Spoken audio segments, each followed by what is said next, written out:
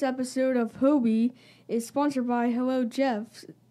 Save 20% off your first meal box with promo code HobiePod. Please note that any comments, jokes, questions, maybe, anything that we say on the history of bad ideas is all in good fun. And remember, we insult everybody. Our thoughts, opinions, questions, anything else, actions that we do on the show do not reflect any of our employers, organizations, advertisers, or anyone else that is associated with the history of bad ideas. And remember, at the end of the day, it's just a joke.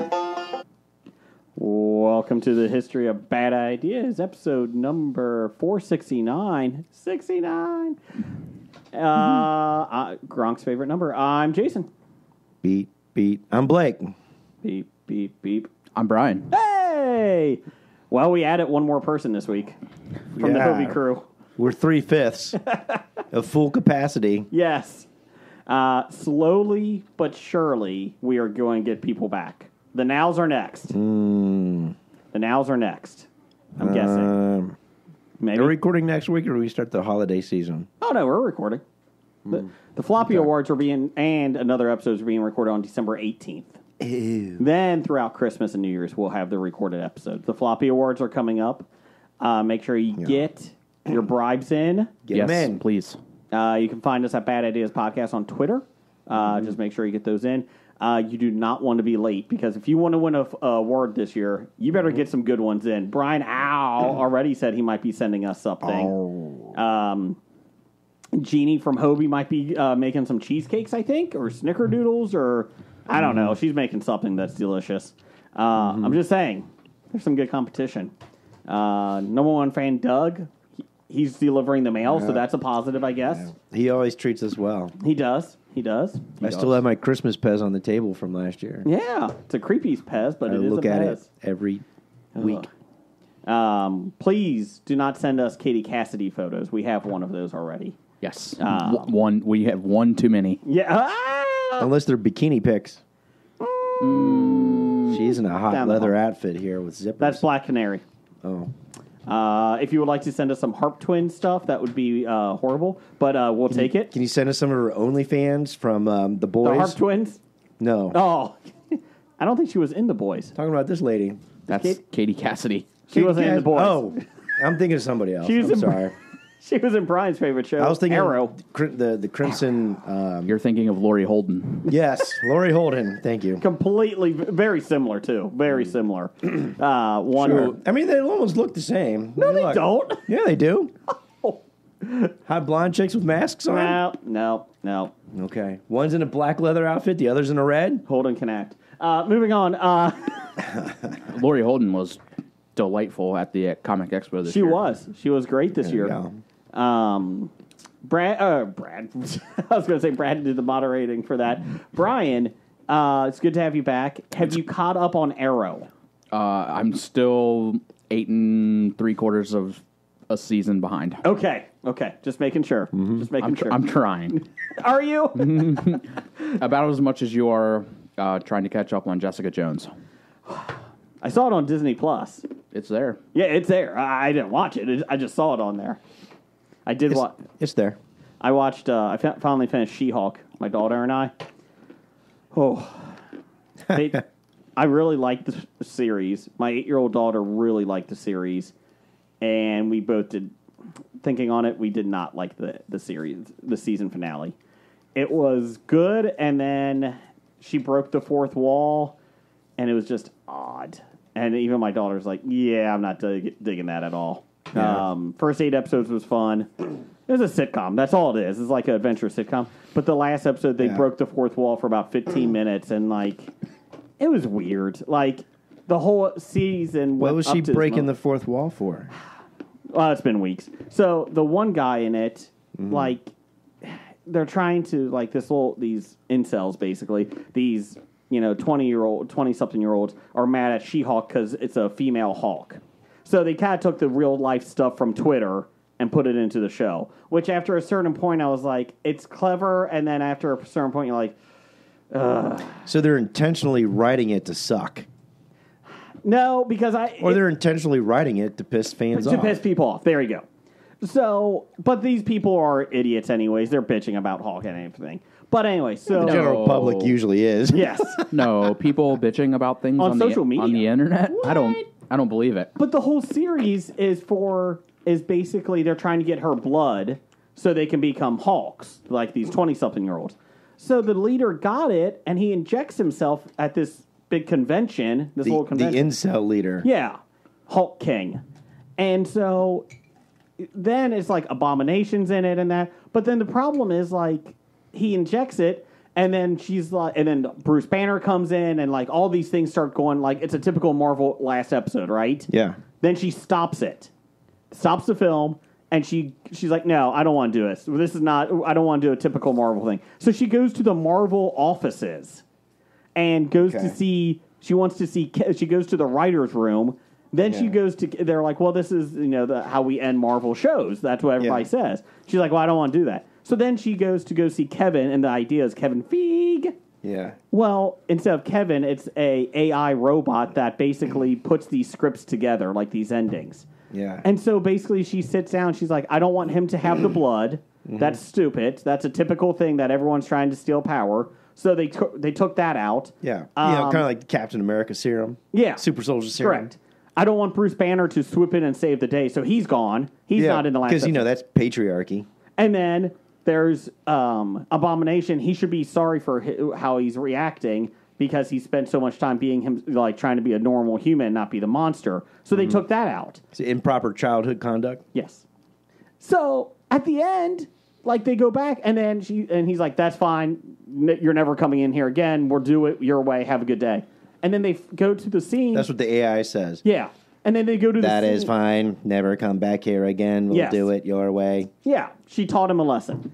So then they go back, and Abomination is a human. He's being arrested. He's sorry for what he did. He's going away to jail for ten years. I was an inappropriate child. the guy that was Hulk King who Mm-hmm. injected him, he's arrested and he's getting sued now by uh, by her by J- uh, by She Hulk because of she ruined he ruined her life or like he exposed her life in that. But is there a progressive district attorney that doesn't put a bail on his uh, arrest and lets him run free to commit more crime? Maybe, maybe it is California. Uh, anyways, yeah, keep going. I'm sorry. and then that was it. And then she's like. "Well, I would like Daredevil because she's hooked up with Daredevil, so she's dating Daredevil." And he shows Because up. he's blind. Yes. but that's it. That was so I'm like, you spent eight episodes get to this point, and then Yeah. you're just trying to be clever and break the fourth wall. Like, I don't know. I was not I get it was If- humorous, but if you if you don't break the fourth wall in the first eight episodes, she and then did a little it- bit. She did a little bit, Yeah, but not that bit. big. So it wasn't it wasn't like a kind of recurring theme and like is there something they threw in together and the ending just leaves you like what the fuck? She would look at the camera like Wong from Doctor Strange would appear, appear, and she's like, "Oh, I guess we're having a guest star this episode." So like there was little things like that. Yeah. but it wasn't like I don't know. I I I, I was not a fan of the last episode, and If- I if- I was disappointed. If the writing was better, it may have been a better Ending. finale episode ending. Instead of her going to the Yeah. Marvel Studios to do that, Yeah. they should have just done that in the series. Like that's what they should have done. Mm-hmm. Like he shouldn't have taken the injection or it didn't work. Hulk didn't need to be like. I get what she was trying to like. They were trying to write, but Mm-hmm. it fell flat to me.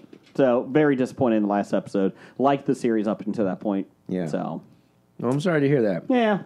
So But you still like it overall, yeah, I enjoyed it. with the Uh, exception of the finale. I think a lot of it was my daughter really enjoyed the series. Yeah. Um, she loved Ms. Marvel, which I loved that too. Mm-hmm. Um, or Satis- Yeah. Satisfaction in knowing your children are liking you Yeah. know, the similar things that you do. You know. And speaking of finales, what about Andor? Did you see that no, I haven't. I haven't. Give me a week. Give me next week. Did you like it? Um, not as good as some of the other episodes, but I do kind of like the overall theme. I think they took a little long to develop one of the major Twists, plots. yeah, one of the major plot points. They you know, they did a lot of building up to it. And you're just like, I know what's going to happen, and this something's going to happen, and they just draw it out maybe a little too long. Okay. But um, I do like the overall ending, you know, the characters, and Is it your favorite series so far still, of Star Wars? yeah. Okay. I, I mean, outside of the original four, five, and 6 mm-hmm. which you know, Star Wars, New mm-hmm. Hope, you know, Empire, Last mm-hmm. Jedi, you know, Return of the Jedi. I, I would say, you know, those three, or actually the two are up there. I mean, Return of the Jedi, as I get older, gets a little too muppety. you know what I mean? it's a little muppety. It gets a little too muppety at times. I enjoy the last one because I like the battles. but I, yeah, I did like it in the battles and of course the closure at the end, which is cool, you know. But um, I would Which say outside, because guess what? He's back. Yeah. The clone is back. yeah, exactly. Jeez. Sorry. don't get me started. But uh, I would probably say then after that, after the movies, including the Han Solo story, Mm-hmm. you know, Rogue One's probably the best. Yep. And then this Andor series, I, I would almost put, I would, you know, because they deal with Cassian Andor and that whole concept of pre rebellion and then how they perfectly segue straight into A New Hope, Mm-hmm. which I thought was awesome. Yep. Um, I would put them on the same level. You know, movies, of course, Rogue One and, and series, Star Wars series. You know, like I said, I uh, Mandalorian is good. I probably would rank this above the Mandalorian. Okay. The Book of Boba Fett was Ugh. disappointing. Better than Obi Wan. I couldn't get past episode two to Obi Wan. He's a butcher.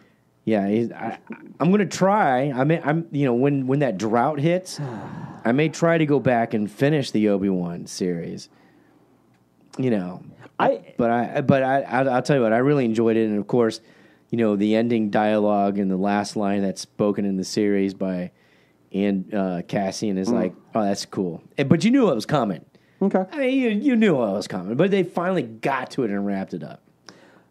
I'm not kidding. Like I know you're not going to, Brian. If you watched Andor, you could watch it as a sci-fi series and not really even care about Star Wars. Yes. I, I, I feel like that is a good sci-fi series. It Yeah. is. It is more of a political spy thriller intrigue than it is a traditional Star Wars.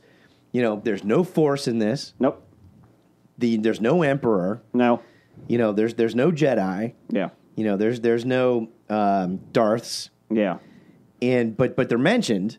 Yeah. They're there's- in play. hey, You know, but this is like, you know, everything that goes into it in the beginning of the rebellion, and you have some new characters. That, you know, going in, new characters, developing plots, storylines, and having them all intertwined very well. I think was was pretty cool, and the whole symbolic, you know, uh, thing that they have is you'll get to see with uh, Cassian's adopted mother, which was pretty funny because when the series ended, my wife's like, "Well, what about her child, her boy child?" I'm like, uh, "That was Cassian. Those were flashbacks." And she's like, "Oh, that was him." I'm like, "Yeah." and remember, he has a sister, Yes. and he was looking for her. Which you know, and so it it started off He went to a strip club looking for her. yeah, went to a human tra yeah, well, human trafficking, a uh, uh, galactic inter inter trafficking, Yes. galactic trafficking, Galactic brothel, trafficking. galactic brothel. First ever Star Wars brothel. Yeah, Brothel. and, and and I think it was really good. And like I said, I mean, there are dialogues in this series that are just fucking awesome. Yeah. I mean, really great stuff. And, you know, Luthen's, you know, you know, um, you know, not soliloquy, monologue when he's talking to their deep placed spy, which I don't want to ruin it for people. Mm. And he's like, you know, and then the spy's like, "Hey, I want out. I got a kid now." I, you know, I mean, he's like, "Oh no, you're no, I'm not letting you go." Yeah. And then he, you know, there's some banner back and forth, and then Luthen basically gives his monologue of why I'm doing this and what this is important. You know, the the great talk between you know I, I mentioned it last week. You know, with Luthen and Saul. Yeah. Gerrera. You know, like you know, all at the end. You know, Saul's like, well, then you know, what do you call? Well, what do you want to call it? He's like, well, let's call it war. You know, and the neat thing is, in the f- final episode, I, I will spoil this for you.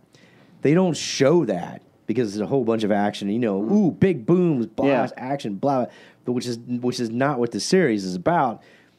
they show the aftermath basically in the you know the big command room mm-hmm. center, and they talk about you know the great success it was at wiping out this um, Kieger, Kiergan, Kiergan. I can't remember the guy's name.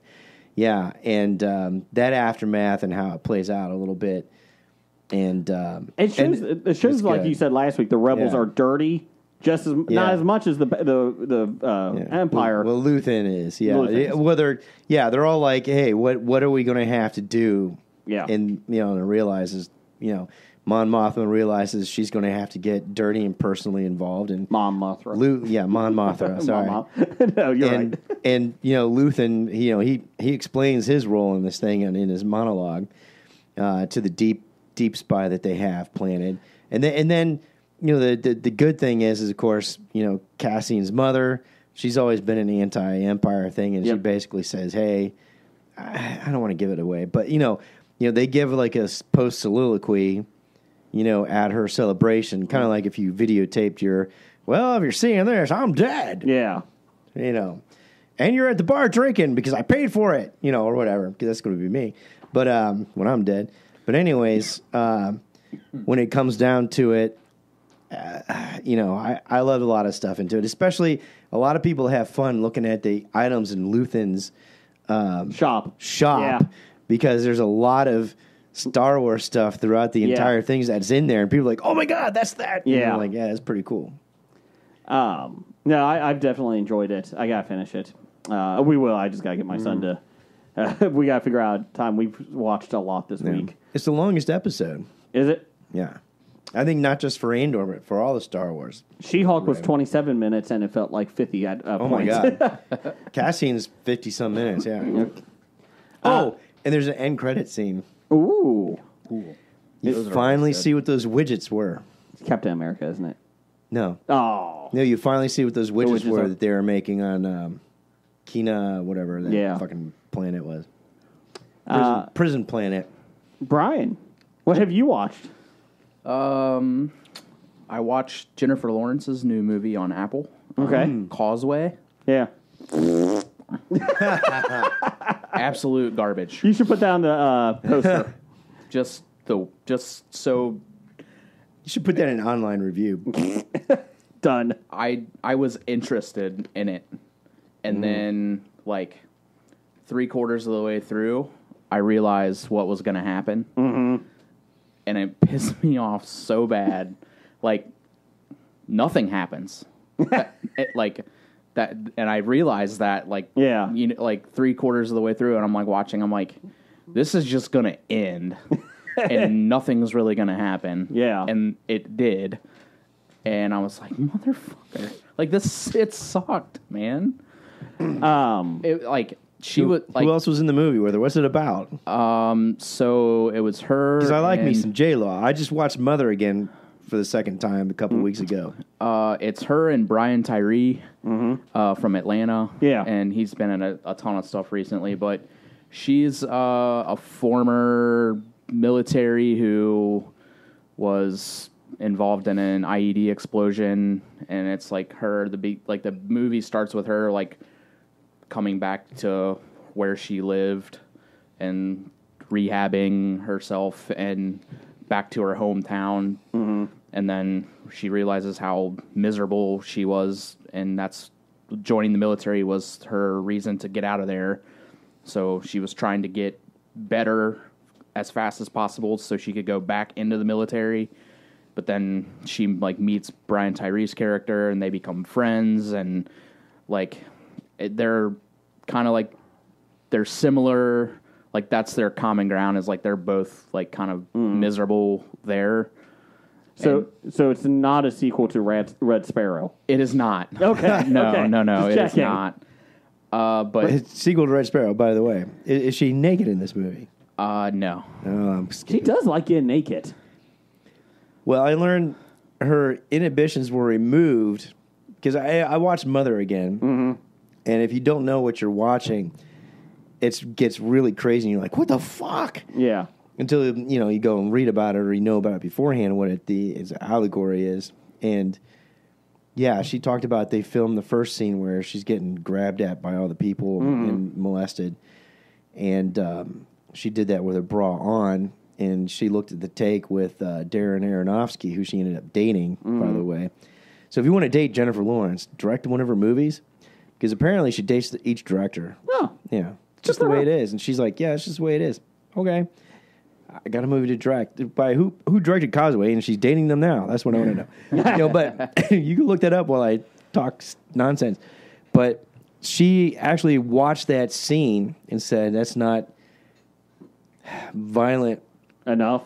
enough for what these people are doing to me."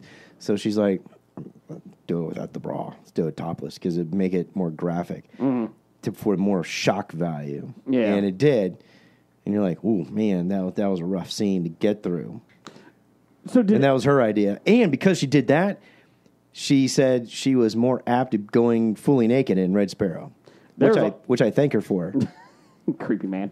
Uh, I'm not creepy. I'm a man. did anything happen? Like, so nothing really happened. Like, Like it's literally just like a like I it's just not like a movie. Like there was just not a I mean there was But did, did, there was does she get back into the active duty stuff? no. no, Like no. did she find oh. peace? No. no.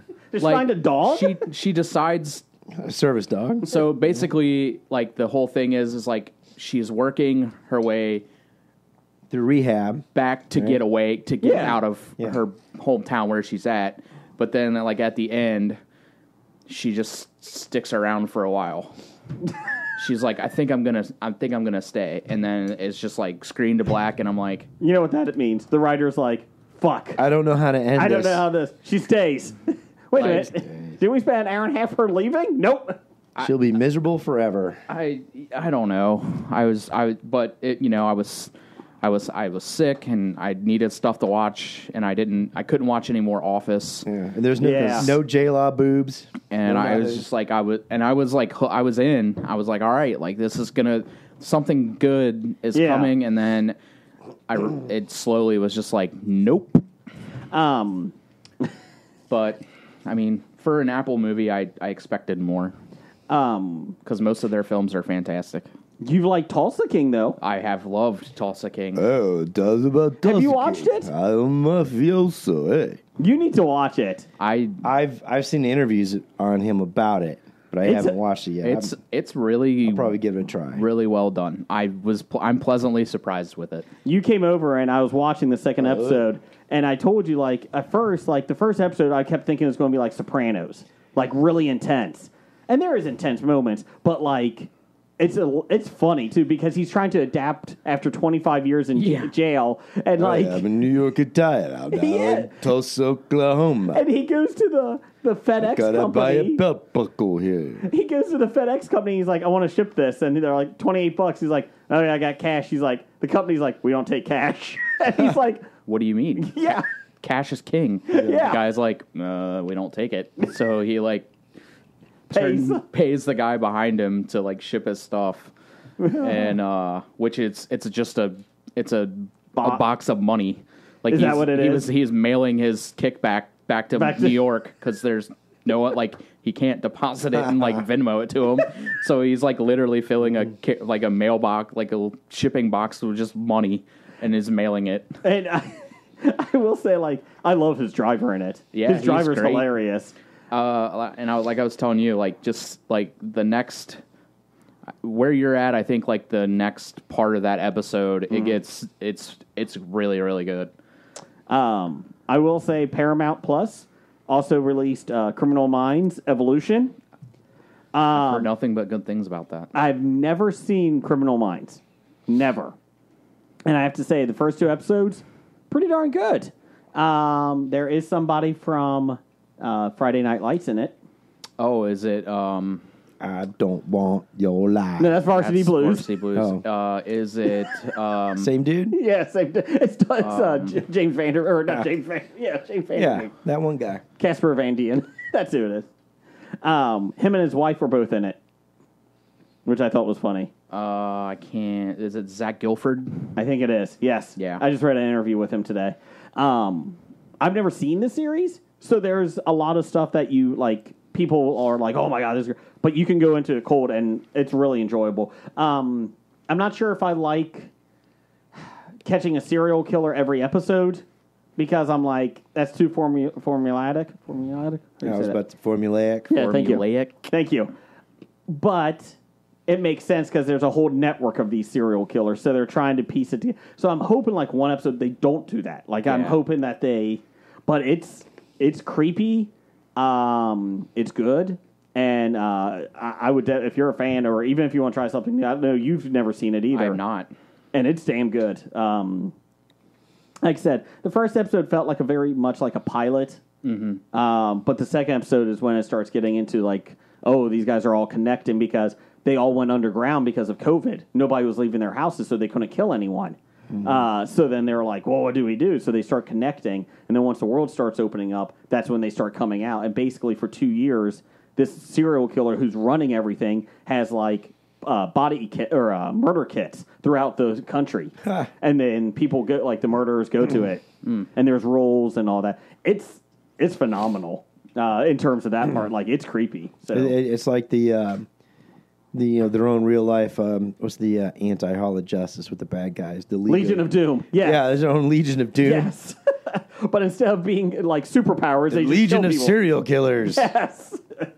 For two years, we were denied. Now we're back. Oh, we're coordinated. Excuse me. I also started watching uh, another series on Apple called Echo Three. Yeah, I saw the commercials for that.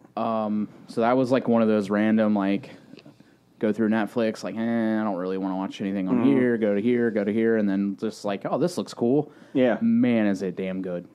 Um, so it's about um, a husband and wife, and then her brother. So they're both in the same like special ops outfit, and she's a scientist who gets kidnapped in Colombia on like a Yeah. science like a ex- exploration, and the the brother and the husband go to Colombia and like they're trying to get her back Without the help of the government. without right? the help of our go- like of the United States government, but I, there's way more like at play. There's like the CIA and the Colombian military and like Mm-hmm. the governments are involved that you're not like you don't really see it, Mm-hmm. but it's like pieces of it are there. So like we've only seen the first three episodes, but I mean I was for not knowing anything about it, Mm-hmm. so good. Better than Causeway. Yes, uh, Luke Evans is uh, plays her brother. Yeah.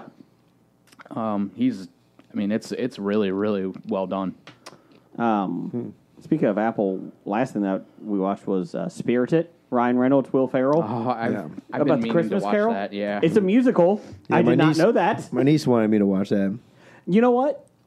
I don't like the Christmas Carol because it's been played to death. This is kind of fun. They do a behind the scenes thing of like how like the uh, these ghosts like st- do a haunting of a person.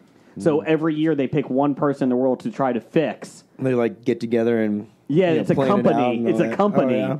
And so they get they pick one person, a human that's alive, to change, like they did with Ebenezer Scrooge and that. Yeah. And they basically they were trying to find the person that can help the most people, like when they change this person, you know, like a ripple effect. Yeah.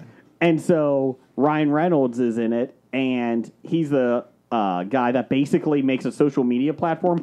And he's his whole goal is to make people hate each other so he can sell stuff. like that's his whole thing. Like basically he he makes money when people fight each other online, Yeah. and he makes up fake things so they you know like real tree versus fake tree, and that was one of the. So they picked this guy, Yeah. but it's cool because they do a whole the whole a lot of it is just like Will Ferrell is a ghost and he's been doing it 150 years and he wo- works behind the scenes Mm-hmm. and like they show like for 11 months or 12 months they're like setting up staging and that and obviously they're ghosts and nobody Yeah. can see it except one person so it's really clever on how they do it Mm-hmm. like i really enjoyed it uh, it's a musical. I, I'm a, I'm a sucker for a good musical. I will say the funniest part in it, they're talking about Ebenezer Scrooge, and they're like, "Well, he did what? Like it made him better as a person." And they're like, "Yeah, but how long did he like? How long did this happen? Like keep going on for? Like after he became a different person, you know?" And the guy's like, "Will was like, well, probably three and a half." Uh, four weeks until he died. and they're, like, "What?" And he's like, "Well, nobody lived back then." And he's like, he's like, You know, number one cause of death back then, January. That's what it was. but it was just like there's human. But it, was- it, I really enjoyed it. If you're, it's a whole different take on Christmas Carol. Great family. Uh, Most of the kids, uh, I think everybody liked it in our family. Um, Cool. So yeah, I really it's on Apple, mm-hmm. and uh, I really enjoyed it. So. Uh, there you go. We did 30 minutes of reviews right there. Look at us go. Yeah. Um, we did have uh, a couple of polls of the week this week. Uh, we had one la- last week as well, but we held off on it. Uh, let me Yeah. get this here. Um, hold on, let me see here. Oh, there we go. There we go. Okay, so we had what is Disney's biggest dis- animated? Sorry, what is Disney's biggest animated disappointment? Like biggest animated film disappointment? Because Strange World, which we'll talk about later, did not do well. We had Treasure Planet, Black Cauldron, Strange World, and Atlantis: colon Lost Empire. I don't think I've seen any of these. Well, I have not either. I think it's interesting that three of their biggest uh, disappointments, like money wise, in that, Yeah. uh, were uh, sci-fi films. Huh. Sci-fi cartoons. Yeah. Uh, in last place, Atlantis: Lost Empire, Michael J. Fox. I don't think I've ever seen that one. I Couldn't even honestly tell you what it's about other than haven't Atlantis. heard of any. I've Not only not seen them, never heard of any of these. How about Treasure Planet? Have you ever heard of that? 2001? No. No. 23% came in. Uh, basically, it's Treasure uh, Treasure Island in space. Oh, okay. That's Lost a hundred million dollars for them. Lost a hundred and something million. Uh, And then winning I could have told 36 him that was a bad idea. Yes, winning thirty six percent to thirty two percent. Strange World beating out Black Cauldron. Strange World might lose anywhere from one hundred twenty million to one hundred forty million. So Black Cauldron was at uh, Snow White, no, Witch, uh, Sleeping Beauty. That was a fantasy film. Uh, I don't even remember what it is. It's with magic. It wasn't a musical. Um, and basically, it's about a kid sorcerer, I think, and Merlin. I'm not 100%. No, that was Sword and Stone. Uh, no, I, I don't remember ever seeing it. I remember wanting That's to the one where um, Mickey's a wizard and he and sings. fights a dancing broom. That might be it. That might be it. Might be it. Uh, and then finally, we also had a poll from two weeks ago. Uh, what is your favorite 1980s Saturday morning cartoon? We had the, Oh, I would have been interested in that. the Smurfs, Real Ghostbusters, Muppet Babies, and the Bugs Bunny Show. This was tough to pick. Like, I went through the schedules of the Saturday morning cartoons and tried to pick out some. It, it was tough. Uh, in last place, Smurfs with 8% of the vote. Uh, Real Ghostbusters at 24%. That was one of my favorites. Yeah, I mean, you didn't even put in Thundarr. No. I'm sorry. Well, then I, I went to online and some of them are like, well, G.I. Joe. I was like. Yeah. that wasn't Saturday morning. It was Saturday morning, was it? I never saw it on the schedules. Like, I looked at all three schedules, like ABC, CBS, and it was on after school. What about Dungeons and Dragons? I thought about that for you. Yeah. But I don't know if it was popular enough. It was. Maybe amongst some of our fan kind of. base. And then winning 36% to 32%, which is ridiculous. Muppet Babies beat the Bugs Bunny show. That's blasphemy. Muppet Babies suck. Not as good as Bugs Bunny. Mm. Bugs Bunny. Yep. HBO Max has uh, the uncut Well, versions too. it'd be Looney Tunes It is Looney Tunes. It is Yeah. Looney Tunes. Uh, so there you go. and not animated animals, whatever that. Animaniacs Animaniacs, yeah. or uh, Tiny Toons. They're tiny. Yeah. What about Scooby Doo? Scooby Doo? Uh, had a lot of different ones. I, sh- I Mm-hmm. was thinking about putting them up there. I was trying to get like a different genre for each one. Yeah. I hated the Smurfs. Hong Kong Phooey? Uh, Hanna Barbera. Yeah. Could have done the Gummi Bears. Gummi Bears. Oh, Gummi Bears. Where do they live? No. I don't Strawberry know. Shortcake? Ugh. Rainbow Brite was another one. Was I think that was a commercial. was was He Man ever there? I don't know if that was Saturday morning. Always, Yeah, Masters of the Universe? I always watch those after school though. That was the, my difficult part. Well, that was just syndication. yeah. Hey, I don't know. 1980s. We need toys. What do you got? Yeah. GI Joe, He Man, Thundercats. Yeah. Brian, any of those you liked? We'll make cars into robots. Thundercats was was pretty cool. Yeah, it was. Mm. I did like that. Were you a big cartoon fan? Yeah, eh, uh, not really. I mean, not when I was. I don't know. Like there weren't many that I really liked when I was a kid. Uh, That, that, I that I watched like religiously. Honestly, the the one that I can like always go back to that I watched all the time that I remember was Bobby's World. Oh yeah, I love that Yep. cartoon. Howie Mandel. Yeah, that was really good. That was that was that was funny. Did you? Was there any specific toys? Since you weren't a Star Wars fan, any specific toy line? Um, Micro Machines. Oh yeah, those were I good. I had like damn near every micro I- machine. I had like the little like all the carrying cases Mm-hmm. and like the brand like the Yep. courses and all that stuff. Yep. Um, I had the little. It was like a bo- a toolbox, and you opened it up, and it had like it looked like San Francisco. Yeah. Yeah, that was awesome. That was cool. Um, Before the homeless crisis. Yes, The tents and the the head human, camps.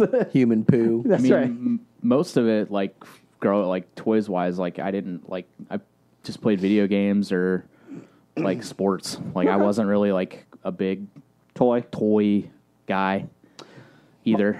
My oldest son, who's twelve now, like growing, like when he was younger, like he would sit and play with wooden trains for hours and Yeah. Matchbox cars, and like he would play Star Wars figures and he like anything that I like anything Mar- superheroes and all that, and then like and we have tons of them. And then my youngest, who's now six, it's like, eh, he plays Hot Wheels, like the cars and that a lot, but like he doesn't really play like a lot of the figures. Yeah. now he is outside. Like if he's outside, he's in like he loves it. Right. But he's our outside kid. But like Yeah, that's. I mean, we were always like outside playing baseball, wiffle ball, football, mm-hmm. street hockey, whatever. You know, that It- that was. it's just kind of interesting, like because I still we still have these toys, and my wife's like, "Can we get rid of them? Can we put them in storage? like, what are we doing?" And I was like, "Well, he may still play." And she's like, "Is he?" like, I don't think I don't think my youngest is going to be playing anymore. But yeah, That's it's, probably also why at the age of almost forty, I started collecting Funkos. Yeah. So my twelve year old just started getting into them. it's uh, it's fun, man. So- I, uh, I've got I've picked up quite a few the last few months. Uh, Amazon yesterday had tons, and they still do tons of them for like five bucks. yeah. So if you're looking out there. Is that the next Beanie Baby bust? No, the Funko's been around for a long time. Um, I don't know. I don't think it's going to crash as much as the Beanie Babies, but there's definitely some that are worth some, some that aren't. Um, I don't know. I got Yeah. a Black Panther over there that I'm going to hold on to. I think that's going to be worth millions, millions. Then the ones we give away as prizes. We do give away at the Cincinnati Comic Expo September 22nd, uh, 22nd through 24th, 2023. Get your tickets in a couple months at CincinnatiComicExpo.com. HOBI will be there. Mm-hmm. Uh, Hayden Christensen might be there. Uh, Brad Pitt might be there. Really? Uh, Burgess Meredith might be there. he will not. Sylvester Stallone might be there. That's very highly unlikely, but Bon also- Jovi. I hope not. Bon Jovi might be there. Impersonator. It's my life. uh, Tim Curry, Martin Mull. Um, who else? Michael McKean. Yeah, all of them could be there. I don't know that, but they could. Um, who else is there? Madeline, Madeline Kahn. Yeah, is she still alive? I don't know. I think so. Anyways, so get your tickets in a couple months on SignComicExpo.com. Mm-hmm. Blake, let's do some news of the geek. Nope. Uh, listener feedback, Jason. Same thing. I was confused. I know I'm sitting in the wrong chair. I'm confused to begin with. You are. You're in Jeff's chair. That's right. It's a little weird. Man, it's super comfy too. All right, you know what that sound means. It's time for the bomb listener feedback. Brought to you by the uh, elite journalists from Iran, from the U.S. Iran press conference pregame. USA. USA, USA, USA. And, uh, you know, I'll put a plug in for women's rights in Iran. They're on nine plus weeks of protest. All right, anyways. Uh, we start off with uh, from this one guy, Number one fan. Can't give yourself a nickname. Big D, Uh, Ape hands. there you go. formerly known as. Uh, seven. Dad. He always delivers because. Postman always delivers. That's right. He's the Karl Malone of the Postal Service. Yes. It's very. Never mind. He's, is the Kevin Costner of Postman? Postman. I could see a statue being made of Yeah. Doug. Uh, if you see post, postal carriers out, also please be nice to them. Uh, they get shit on at this time of the year. Please be nice. Okay. Yeah, that'd be nice. The they're Any of the delivery people. yeah they're delivering mail until like nine o'clock at night. Okay. Just be nice to them. Don't Or yell just at them. be fucking nice to everybody. Well, that would be that would take a monumental thing. I'm just trying to get help the mail po- the poster carrier, carriers out right now, and don't hit their their trucks. Okay, I've heard like a couple. Uh, Yeah, because I'm a taxpayer and I don't want to pay for that. yeah, yeah, can't rent here anymore. So there you go. Yeah. The the one Amazon lady like last week, she's like, "Oh, this is my 638th stop of the day." And I said, Of the day, "Of the day." Jeezel. And I said, "You know, you brought 638 smiles to people's faces." Yeah, but now my text message my text message is blowing up because of Walmart and Target and FedEx. your Yeah. delivery's in route, and then literally your delivery is in route. Two seconds later, your delivery has been delayed. yeah. I'm like what? end of day. yes. And the end of day comes and goes. Well, I guess not this end of day. No. and the next day, end of day. And then, yeah, One of these days. one of these days. Uh, what we got, Blake? He says, uh, Doug, it was great having Brian Our on the show finally! Exclamation point. And then also Sean. Period. Period. no explanation point after Sean. and and you know, even though I said fuck that guy, uh, Stork Yes. from Besotted, you know that that was only because I was joking around because Yes. he didn't join us. Yes.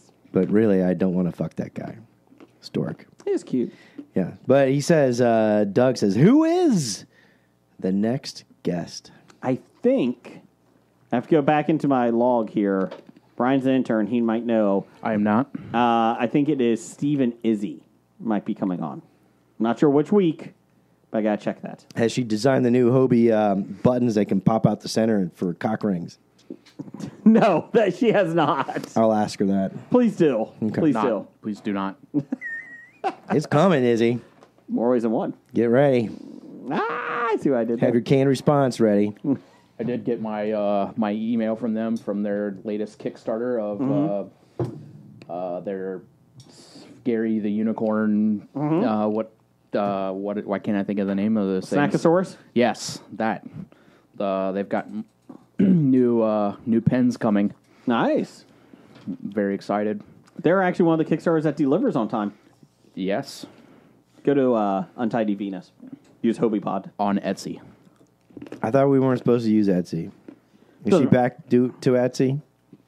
Yes. Yes. Okay. Use HOBI Pod. All right. Uh, and we apologize for the Hello Jeff customers. Food will be coming in two weeks. Jeff's been sick. So Just leave him alone. Yeah. And there's no final care package for Jim's No Not November. No, not, not yet. Not, Not yet. yet. Could be a held held over. Yeah. Could Maybe be. that's, that's, maybe that's why Jim's not here. yeah, it could be. He's designing the next care package. He's counting down the days. Two more days. uh, what else got?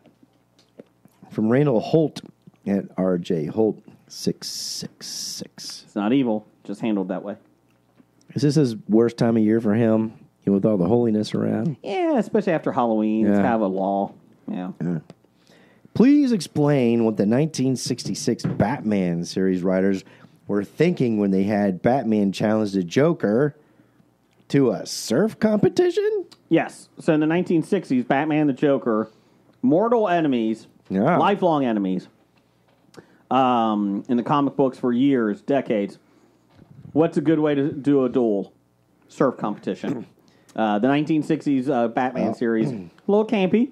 They met on the be- 1966 A little. a little, just a beach little. movies, Yep. very popular at the time. So it's- surf movies, popular at the time. Beach Boys, Beach blanket surf, Batman. Bing, Beach blanket blanket black Batman. man. I like it. Hey, you know they, they they're like, hey, what are we gonna do to rope these kids in? Let's do surfing. Surfing. So uh, There you Randall go. sent me that link. It's from the 1960s. I love their, that show. But man, Was was that the same uh, episode that had the shark repellent? Bat, No, that was a- shark repellent. that was the the Batman film from the 60s. Same Oh, okay. same characters. Yeah, Uh, sometimes you just can't throw away. You can't find a. Uh, what is it? Some days you just can't get rid of a bomb. That's right. Which which uh, cat Catwoman was Oh, was in the in the In the- show? in the movie? There's three. yeah. Uh, who was it? The movie I think was Julie Newmar. Okay. I think the movie was that. All right. I have to check. I think that was her. Cool. Um, but yeah, uh, what were they? What were they thinking? Uh, I think they were smoking stuff. I'm going to say in the 1960s. I I mean that that was a good 15 years before I was born, so I, I I missed that one. Some I of saw it that- in syndication. Some of that strange marijuana. Marijuana, you know, ruined society supposedly. Oh, you know, maybe they're dropping acid. Yeah. This is about the time when they're expanding their brain. Has anyone ever overdosed on acid? Can you? I think you can. Yes. Okay. Okay. Yeah, it's not good. Don't try it, people. We're not condoning it. No, not at all. Wow. Uh, from Nerdly Out Loud at Nerdly Pod. Should the 365 Flicks get the band back together again? No. Why not? Kevin's a big, big time guy. Uh, he's on Nerdly Out Loud now. Oh, I see. So he's too big for did his the part- old buddy. He did the Paul McCartney route. He Uh-huh. left. Mm-hmm. Um, and he just interviewed wrestling sensation Joe Hendry last night Really? from Impact. I believe in Joe Hendry, and now Oh, wow. Kevin does too. Wow. Go check it out on YouTube. Nerdly Out Loud. may, maybe Kevin will, won't forget us little people. Yeah, he probably will. Yeah. He probably will. Probably forget us all about us. And We won't hear from him once England loses in the World Cup. They'll- He'll be gone. well, we did tie England, we did. and a lot of English people were upset about that. Yeah. Well, Yeah. first time England atta- uh, fought us and they actually didn't lose. So They good tied. job. Good job, guys. You're making more. They didn't win either. They didn't win. It's like us in Vietnam. That's right. It was a tie. It was a tie. Ooh, they smoked your ass real good. Yeah, it was fine. It was a tie. Ah, from Meeples and Wine at Meeples and Wine. The first and's an ampersand. Yes. Notice I picked out that fancy word. And the next is Meeples A and D wine. All right, in case you want to spam them. HOBI, would you rather Who? have backing you up in a battle against terrorists? I thought it was going to be a sex thing. All right. Anyways, I'm disappointed. Maybe they can send one in next week. HOBI, who would you rather have backing you up in a battle against terrorists, aliens, and or demons? Okay. John McClane from Die Hard, R.J. MacReady from The Thing, or you know what a guy says at a time like this? Old Jack Burton says, "The check is in the mail." Big Trouble in Little China. I, so you're facing terrorists, aliens, and demons. Say. Yes, I'm going to say Jack Burton. He's like magical, isn't he? He's got some magical powers. Yes. When you, when you drink the potion yeah. and you feel a little, you know, Yeah. warm, I'm happy. tingly inside. Yeah. Brian, who you going with? Jack Burton. All- All day, every day, and twice on Sunday. I don't think RJ MacReady is really that great in the thing. I mean, he's a mm. scientist in Antarctica. Whoop de shit. Yeah. I mean, it's good for him, but it's not going to help me protect against a, a demon. No. That doesn't help. And I hear if you pay attention to the very beginning of the thing, you already know it's a dog, the alien. Yes. Yeah. Yeah. So it depends. What version are you watching? There's like six versions. It's like uh, uh, It's like Blade Runner? Yes, it's Yeah. like Blade Runner. There's like seven different versions of the thing. Yeah. Sorry. And they're all better than the original Yes. release because the movie companies fucked it up and wanted to cut the shit out of it. It's like the uh, Ben Affleck Daredevil. The cut version Yeah. was uh, the uncut version's a lot better as a Colio side story. So it's got to be better. Yeah. It is. I, I don't know. It'd be a toss up between John McClane and Jack Burton. I'm going, Brian. I'm going. I, I think I'd have more fun with Jack Burton. Though. Yeah. And I have seen the Pork Chop Express. It's a real semi. Yes, it is. It was at Gen Con. I took pictures, if you remember. Yeah. Uh, what else you got? Yeah, it's good because John McClane didn't have any cool cars or vehicles to drive in. All right, uh, from uh, Professor Number One and Doctor Number One. Well, before I get to that, I did see uh, where uh, Joe Lisa Sutman wanted us to try the blueberry Kit Kats. I think we have tried them. We haven't have tried. Yeah, we have tried them. Yes, Yes, Uh, what was the verdict? they were fine. I, I mean they weren't. I couldn't remember. I can't remember. We did both the strawberry Mm-hmm. and the blueberry. I like the strawberry better. Neither one of them were really. Yeah. they were just. There. They were better than those Oreos we had a couple weeks ago. Or what did we have? The Snickerdoodle oh, Pop Tarts. That's what it was. yeah. Ugh. No. Can we talk about Oreo not releasing some new s- flavors here recently? Yeah, Snickerdoodle is is is it right now. I'll be honest. they're- Did you see the MIT study about Oreos? I forwarded I it did see you. that. I did see that. You want Please to put explain. it, put that in next week? I can put that in for next week. Put that in next I'll week. put that in next week. Yeah.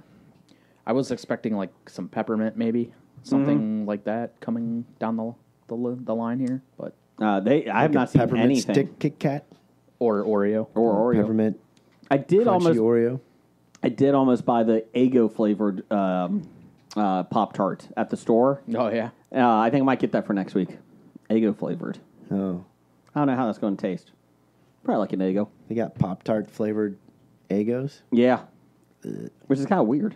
It's got to be better than Snickerdoodle. It's got to be Pop-Tarts. better than a I mean that's Snickerdoodle. literally disaster. just sand. Like, Yeah. a- um, what was it? It's It was a jellyfish covered in sand. Yes. Mm-hmm. Yeah. is what that was. It was awful. Yeah. Mm-hmm. And we kept eating. I mean, we don't waste food here. No, we don't. No. No, we don't. Uh, let's wrap this up here. Professor number one and Doctor number one, when quote Brian unquote got promoted, was it really Brian oh, getting promoted? Maybe intern Brian still an intern. He is not. It's a good question. Is it? It is, a it good though? question. I don't. I don't really think that it is. Uh, Brian Al brought it last week. He brought the knowledge. He did. He dropped some heavy truth bombs. Uh, Doug was not. So did ha- Sean actually. Sean did too. John did a great Yeah. job. They both did a great job. It was nice to have them both on. I mean, if I were writing a question to the show, I would put an exclamation point a mark after Sean too, mm-hmm. not just a period, like you know Doug, Doug did. Doug didn't like him because he made fun of Bucky's. He cut off the Bucky's Ah. talk. Uh, Sean also, the day after we recorded, it was his 50th birthday. So happy birthday, Sean. Oh, happy birthday! Good job. so we man. gave him a HOBI HOBI party. Yeah. and we didn't know it. Yeah. So uh, we're going to look into it when everybody's back, when the nows are back. We're going to mm. talk about it because Brian Owl may be Jack Sparrow right now as the promotion. Oh. I don't know. Brian, you might want to get your attorneys on this. Oh, they're already on it. Okay, just checking. Just checking. Mm-hmm. They're experts in bird law. Don't get She Hulk. I will not. They will fumble it at the mm-hmm. goal line. So, uh, let's see. Or, here. or don't rely on the a caddy for your legal advice either, as demonstrated in Seinfeld. That's right. if the bra don't fit, you must have quit. Never put that on the person. Never put that on. She had a coat on. she had a shirt on. uh, let's do I some. think it's weird that that that he's doing uh, Snyder's of Hanover commercials now. the attorney. Yeah, Oh, it's awesome! He's bringing back his um, Jackie. Was it Jackie, Jackie Johnny- Johnny Jackie Chiles. Jackie Chiles. Jackie Chiles. attorney at law. Yeah, It's But awesome. I love it too. I, it's just weird. Like, After so many years, you're right. It's like almost who asked for that? yeah. it's like Snyder? 25 years. And the sad part is, as soon as I saw it, I started laughing. I'm like, Yeah. "That's awesome!" yeah, I Yeah, it's, Yeah. it's like you know, can you get the soup Nazi in a soup commercial? right. no, actually- because he hates that role. Remember, we we Yeah. covered that. He hates it. It's like uh, Burt Ward hated playing Robin in the 1960s Batman. Dude, you got a job. And it made you how much money? Yeah. And fame? And the professor from Gilligan's Island. Oh, I don't like it. It typecast me. Shut the hell up. You weren't doing anything else, Russell. Yeah. What else are we gonna do? Yeah. Calm down. Be happy that you got a part. Hey, you made radios out of coconuts for Christ's sake, Stupid Russell. and you got to hang out with uh, Ginger and Mary Ann. Mm. So shut up. And the millionaire's wife. well, Love it. go all the way. Love it. they were trapped on an island for a while. Everything was happening. I'm pretty sure. Um, let's do some news of the geek. Brian, get me some music. News of the geek. It's time for news of the geek. Thanks. You're welcome. Um, let's see here. This is going to be a tough one. Maharan Kari- Nope. Maharan Nope. Behran. Maran Behran. uh, Karimi Karami mm-hmm. Mm-hmm. Karami mm-hmm. Nasseria? Naseri. Nasseri. See, I, my ink was going out. it wasn't in yet. Yeah, Oh. blame it on the ink. Sure. Yes, it is. It's the ink's fault. a Iranian refugee who lived for 18 years in the Charles de Gaulle airport in Paris and whose intriguing tale inspired the 2004 shitty Spielberg film, The Terminal, died last Saturday in the same airport. Cause of death was a heart attack. You know Same what? airport. Did he ever get out? Uh, well, we'll get to it. Well, read. You know, when I think of a refugee, I think of Tom Hanks playing them. That sounds really good. Um, his attachment to the airport lasted until his final days. He had been staying at a nursing home this year, but returned In the airport. No, no, no, no. The Oh. nursing home was separate. But returned to the airport in mid-September to quote live as a homeless person in the public space of the airport. Uh, he resided. he resided in the airport from 1988 to 2006, initially because of legal hurdles uh, to prove his refugee status, and later by choice. And because they're French. Oh, by the Ah. way, have you ever been to Charles de Gaulle Airport? No. No. Worst fucking airport in Europe. Oh, okay. Fucking worst. I hate it. And this guy it. chose to live there. I know. I, I I pity this man. He lived between a pizzeria and electronics store. Suncoast went out of business. Planted himself on a red plastic Behind a bench. Sbarro. True New York pizza. Every time I'm in New York, I always stop for an authentic piece of New York Sbarro. pizza. Airport employees would routinely give him their me- meal coupons, and flight attendants would give him toiletries left over by first class passengers. Uh, I re- quote: "I realize I am famous, Mister Nasri," said in the article. Nasseri. Nasseri. I wasn't interested until I came here. Uh, let's see here. It was difficult to pin him down because of his changing claims about his origin, so he never really told the same story uh, twice. Uh, airport officials said they confirmed that he was born in Iran in the town of, I'm not even going to try it, 1945. Masjidi Suleiman. Thank you. Uh, he was expelled from his homeland for anti government activity in 77, Believable. uh, became a student in England, prote- and then he had protested uh, because he protested against government. Uh, when he returned, he found himself in prison and soon exiled. Ah, he's still living. He didn't have to wear a hijab. Yeah. He uh, bounced around Europe for a few years, arriving in Belgium, and then given his refugee status in 81. Traveled to Britain and France without difficulty until 88 when he arrived at Charles de Gaulle See? See? Shittiest fucking airport in Europe. with a one way ticket to London, a few clothes, about $500, and no passport. He told the authorities that his papers had been stolen at a Paris train station. Waiving the usual rules, the authorities let him fly to Heathrow in London. Welcome to the 80s. Hell, the 90s would have done it. No kidding. Uh, let's see here. Uh, but their British immigrant uh, immigration officials refused to let him enter the country, and he was returned to Charles de Gaulle. Oh, he's back to hell. He could not prove who he was or offer proof of his status, so he moved into a holding area in the airport for travelers without papers. Uh, the, in the 90s, the th- French authorities insisted that he was on French soil illegally, but they could not deport him because no country would accept him. in 19, that's how you get through like the Fr- the French. Hey, we're not go- we're not Yeah. taking him. Okay. In 1999, he got permission to leave the airport and go wherever he wished in Europe. He didn't want to go anywhere. Uh, the airport's medical director told the Times that year that he was scared to leave his bubble world.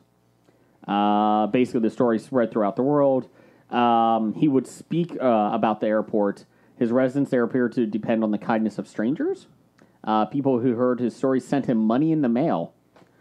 Like, Tulsa King. Yep. Yes. That's that's the way to do it. Traveler once gave him a sleeping bag and a camping mattress. Uh, Charles de Gaulle Airport sent a statement on Sunday that its entire staff and community had uh, cared for Mr. Nazari, Nasseri. Nasseri, quote, as much as possible for many years, but the airport noted that, quote, we would have preferred that he find a real shelter as he was suffering from psychological problems, You unquote. think? Yeah. But that's a very interesting life. Like, I try to be a hermit, but, like, that's a real hermit, and that's kind of creepy. But that's not really a hermit because he's living Well, amongst I guess millions so. of people That is true. Yeah. Um, uh, yeah. Do you think he had on any... a bench between Sbarro Yeah. and Suncoast. yeah. Orange Julius. Or it's French. They said he would It's shower Orange. uh, in the bathrooms there. That they would have showers and that. Yeah. Um, You, but I will say Charles de Gaulle is the worst fucking airport. But European bathrooms in airports are a hell of a lot better than the states. Yeah. I agree with that statement. Um, so yeah, um, the only problem that I have with this whole story is that he he made Spielberg make this uh, the terminal. Fuck. He, so this guy made Spielberg make that yes. movie. Yes. And I, and I love for the fact that they just let a guy stay in the airport for for years. Yeah. And they're like, well, we wish somebody would have taken him. I was like, well, how about France? Just let him in. He's technically there anyways. Maybe it was like Les Nessman from WKRP. He just put tape around his cubicle, his house. Yeah. Can't come in. It's my property. Sorry. Sorry. Yeah, that that seems so bizarre. Like, wouldn't just let him go? Like, There's no way that could happen And now, especially right? if you realize he had mental problems, you Yeah. know, put him uh, in some kind of he's hospital. not going to mental get that help at the airport. No. No. Like, what? Yeah, he's like declared some eminent domain.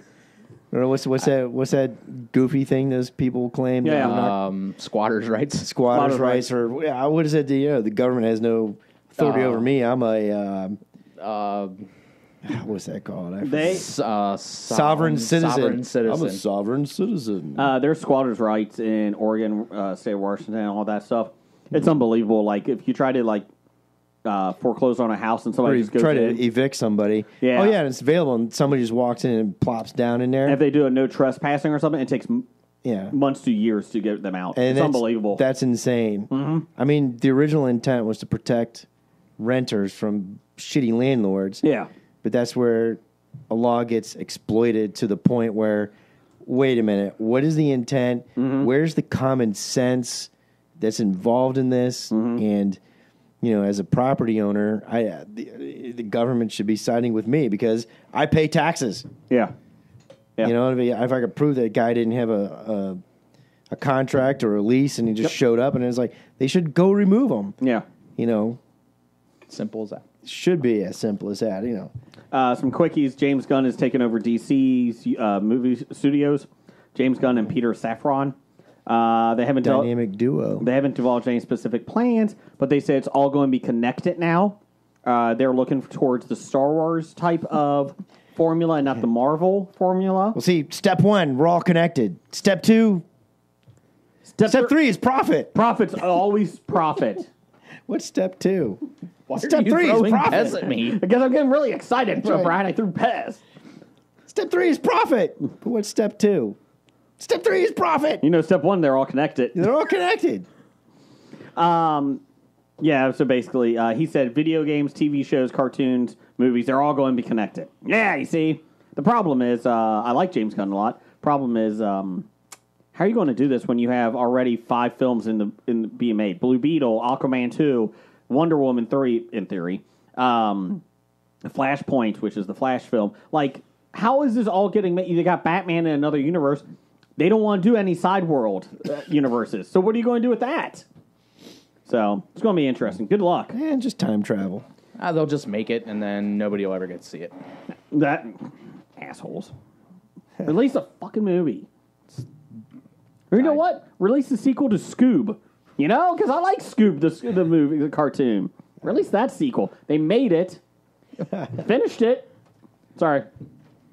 Uh, and then here we go. A Florida woman is taking Kraft Heinz to task for what the attorney called false and misleading representation of their microwave Velveeta shells and cheese. Oh, you put that in here. Oh yeah, I'm I'm doing it from the thing, but not because of anything that's inside the single server containers. Yeah. It's due to what's on the outside. Class action lawsuit filed on November 18th in a U.S. District Court in Miami, oh, of course, is asking the company to pay at least five million in punitive damages for claiming that their Velveeta branded microwave mac and cheese cups are ready to eat in three and a half minutes. First off, they should be suing because it's not real cheese. Let's go with that first. Let's talk about the preservatives. So, it, Lead plaintiff Amanda Ramirez says that's simply not the case, as that time frame only factors cooking time and doesn't take into account the other steps required to prep the product before the cooking. Such as Quote, the label does not state that the product takes three and a half minutes to cook in the microwave, which would have been true, argues the lawsuit, to provide consumers with a product that is actually ready in three and a half minutes. The product would need to be cooked in the microwave for less than three and a half minutes so that all the preparation steps could be completed in the three and a half minute time frame. Details, details, details. So Fucking hate it here. Yeah. You know, okay, but so why it is it? takes Why is it not? minutes. Yes, but what Two you, minute the, abs. the steps involved that they complain about is they have to open, the Open the- box, they have to peel off, pick Here we out go, the ready? container. Yeah, here it is. Read it. Yeah, read it. Ramirez states that had she had known Had she had known, the three and a half minutes didn't include the additional steps of removing the lid remove the lid. and cheese sauce pouch. Let's use cheese. Yeah, li- cheese- a little let's do- liberal there. It's not a Sauce sauce. pouch. That's a powder. Sauce powder. Let's- let's- it's not like Opening a- that up, It's not the shells and cheese packet of cheese. pouring it into the Start cup. snorting the cheese. It's the powder. like Adding water. Oh my god, uh, it takes so long. Oh my gosh, you gotta, you know, milk the cow for all that water. What? I don't know. I'm just fucking making shit up.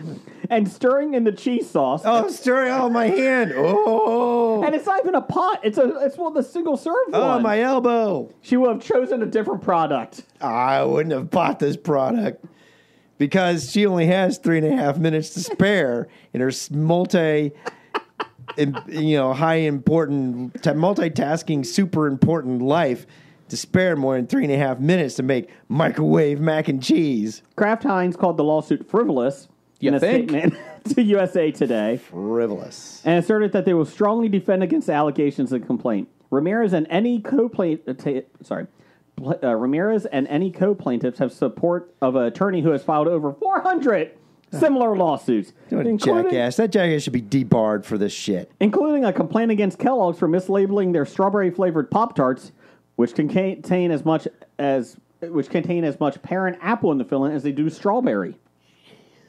You know what you should be suing for? That fucking snickle snickerdoodle Yeah. Pop Tart. We should sue them for He's that got an open and Pop-Tart. shut case right there. Uh, this is not snickerdoodle; it's sand Pop Tart. Yeah. yeah. Jellyfish sand. Uh, the attorney Spencer Sheehan of Great Neck, New York-based law firm Sheehan and Associates, Shit bag. Sheehan and shit bag. allegedly says that while these complaints may seem like small things to some, they are Shut- just as important as any other action someone they're might not. present to court. No, they're not, you jackass. Here we go. Oh, it gets Quote. better. Here we go. Quote. Oh, wow. Frankly, these type of cases are the only mechanism by which an individual person or consumers in general are able to say to a company, "Hey, this isn't right. You need to fix this. You need to disclose that this product is flavored or this product doesn't really have butter or that vanilla is not real vanilla." he told the CBC. Those may seem like small things. I admit we're not curing cancer, No shit, you're not. You're, they're giving it to us. Yeah. but it is equally important to any other ca- cause of action that a court may address. Nope. like real lawsuits that deserve attention instead we're taking up time for this shit.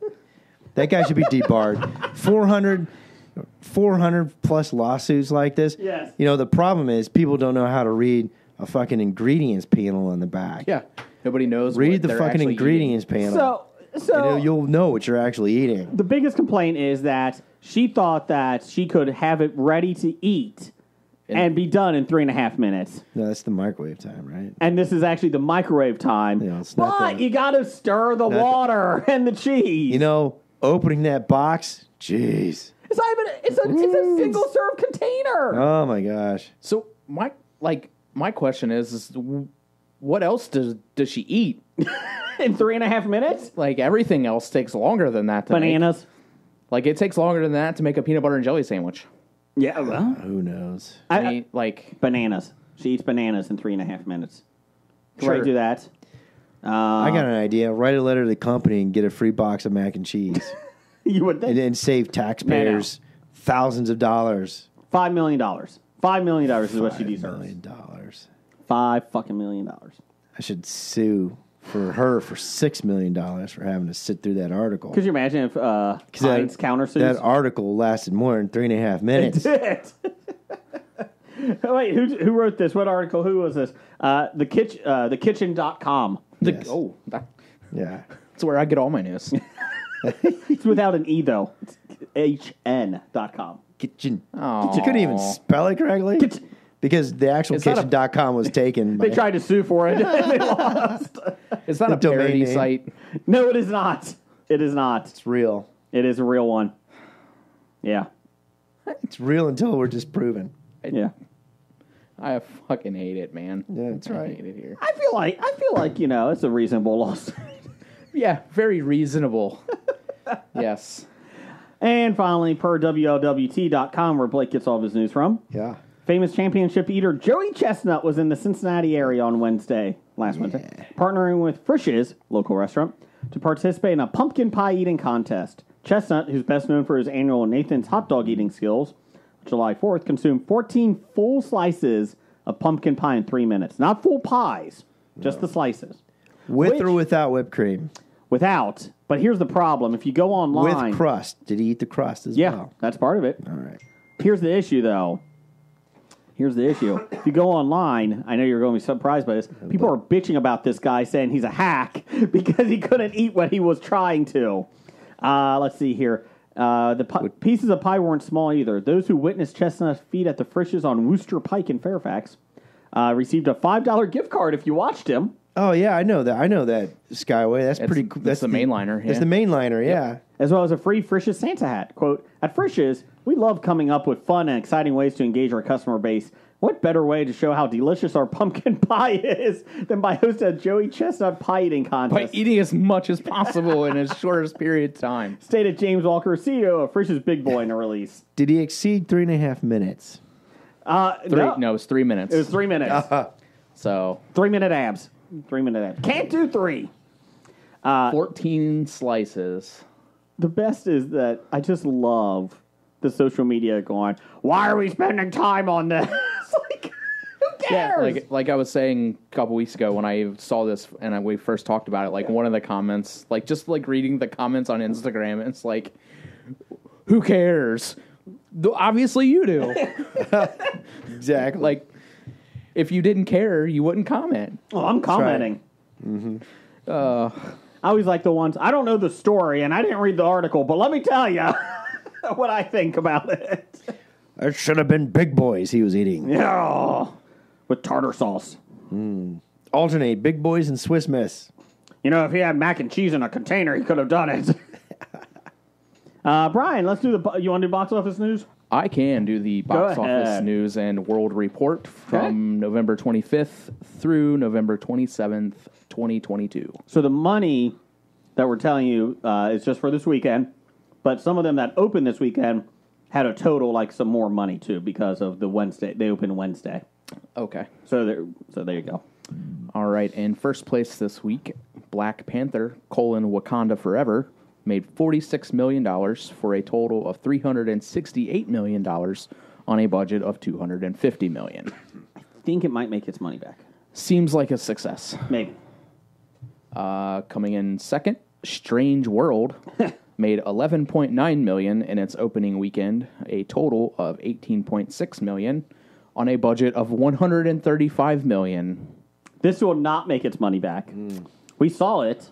You did. Yeah, we took kids because my youngest, who doesn't like many movies, he really wanted to see it, and he he sat through. it. It wasn't bad. Um, it wasn't like anything groundbreaking. It was a very pulp comic book type thing from the 1930s and 40s. Like I enjoyed that aspect of it. Um, just to let you know, there's a gay character in it. Can't. The son is. Oh, jeez. The I can't So- even imagine. no wonder what- they're not what going the to get their internet's money. saying. They're not going to get their money because they can't show it in China. China. So yeah, just be careful, people. Ooh. Okay. I'm sure we'll get some protests on that. Uh, yeah. So, anyways, it was it was enjoyable. I uh, it's a C C plus. It's nothing bad. My wife enjoyed it. I think my kids all liked it. Um, but yeah, I mean, there's a little twist at the end that was kind of fun. But yeah, it was just a very oddly type odd type show. Another sci-fi Disney film that did not do well. So Shocker. yeah. Uh, coming in third, we had Glass Onion: colon A Knives Out Mystery, made 9.4 million in its opening weekend, a total of 13.3 million on a budget of 40 million.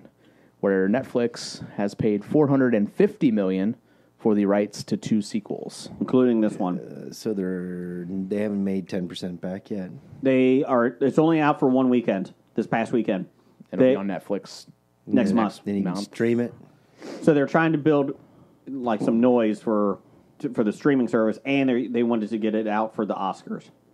So Uh, I, I mean, I'm look. I was. I've been waiting for it, so Yeah. um, I can't wait to see it. Uh, coming in fourth this week, we had Devotion, made six million in its opening weekend on a let's see, total of nine million, on a budget of ninety million.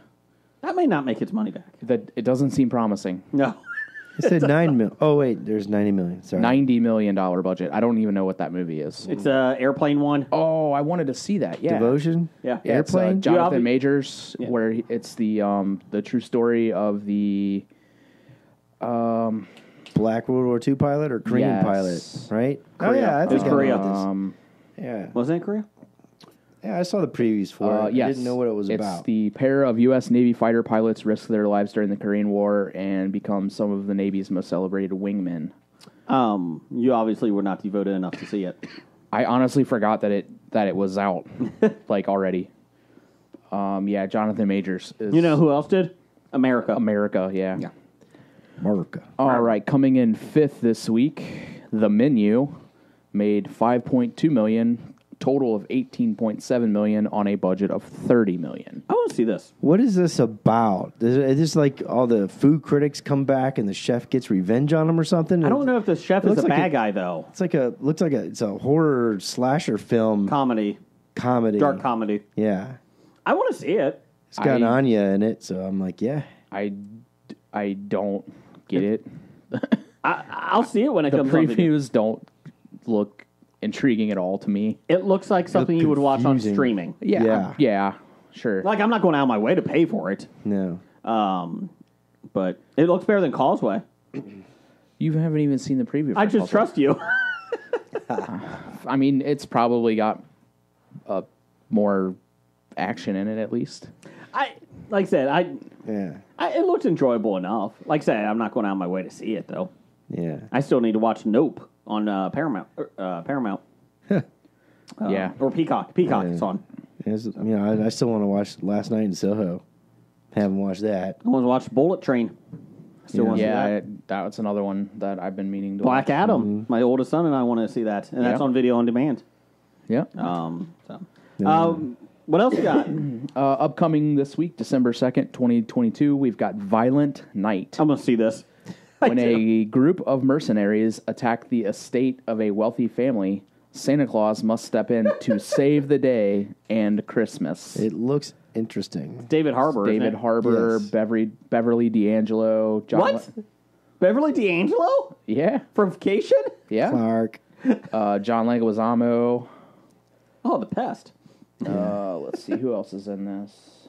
I didn't know those two were in it. Yeah, I think it's going to be a fun film. It reminds me of one of those films that Bill Murray uh, greenlights when he's in the movie Scrooge. Scrooged? Yes. Yeah. this Christmas, Santa's ready to kick some ass. yeah. No, it, I mean it looks pretty good. Yeah. They're expecting eight to ten million to cool. make. Speaking of also upcoming, uh, the series, t- television series, Willow, Yeah. sequel to the movie Willow, Mm-hmm. which uh, I'm kind of intrigued by. They said um, they had parts written for uh, Val Kilmer, and they had to write it out at I the last saw minute. a headline with that. Was that because Oh. of his health, Uh huh. his health problems? Yeah. Yeah. Um, so he no Mad Mardigan. I I always thought the original Willow film was slow. Like I was not a huge fan of it. It wasn't bad. I just wasn't a huge fan.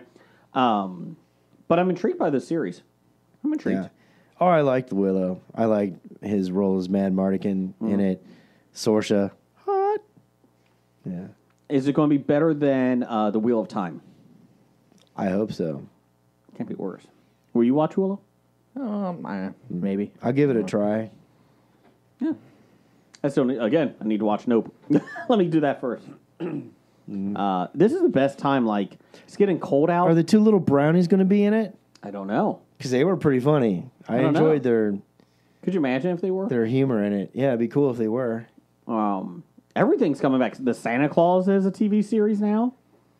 With Tim Allen. Yeah, whatever. Uh, we watched it first episode. Anyways, uh, Yep, it was fine. pretty much what I expected. Uh, let's see here. Um, it kind of felt like he was ranting about the woke cu- culture a little bit in it, and I'm like, it's a very like I don't care, It's a but like, very Tim Allen thing. but in a Santa Claus film, a show like I was like, that's a very interesting take. I mean, that's just what he does. Yep. Uh, let's see here. Um, top five this week. We had top five worst Christmas movies. So, um, this is pretty lenient. Uh, so, um, Blake, do you want to start it off? What's your number five? Sure, I, I can start it off. I I had to have watched these, you know, so I have to go with experience. I enjoyed the original Home Alone, Mm-hmm. and I did have eventually watch the sequels for one reason or another. Oh, come on, do and it. they all sucked. So, which one's on your list? All Ah! Home Alone sequels. Number All number Home Alone sequel. I hope with that shit.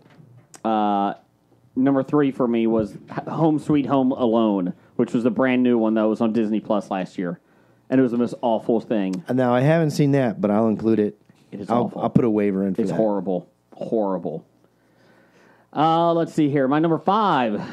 Oh, wait a minute. You just went and said Home Alone. That was my number three. Oh. you you put it on. Oh, the I board. got it. Yeah. Okay, cool. Uh, number five for me was White Christmas. Oh my goodness, the film never ends. Fucking Danny Kaye. That film is like 16 hours long. I can't stand it. It's horrible. I don't think I've seen it. I think if it was an hour and a half long, I would have been fine with it. It's like three and a half hours long. I can't. I can't. Why? Because Why- no one back then cared about. They had nothing else to go do. Yeah. Oh, White Christmas. You know the story of the KKK. Not that one. Oh, sorry. Could you imagine? Back then, it probably wouldn't surprise me, but no. Dear Jesus, all I want was a white Christmas. I don't think Jesus was white. Shut it. Shut it, you.